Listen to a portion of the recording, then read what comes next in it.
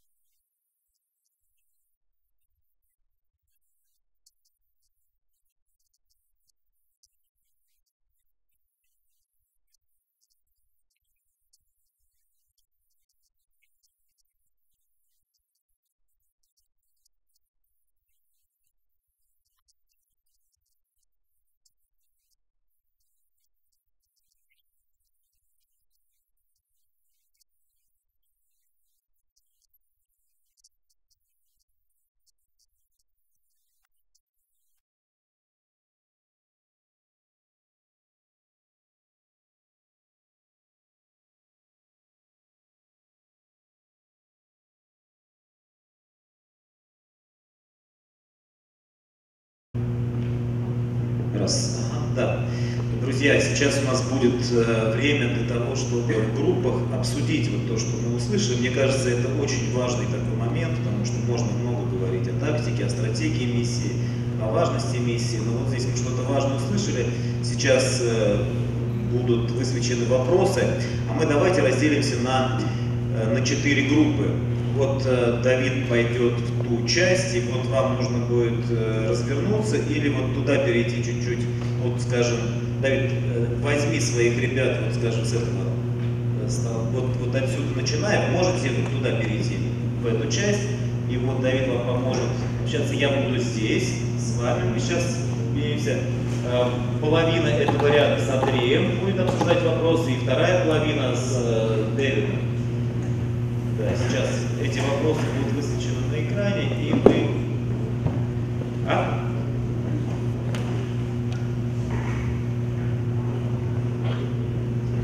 Да, Отлично. Э, твоя часть вот так, вторая половина. А мы с вами давайте вот так чуть-чуть вернемся.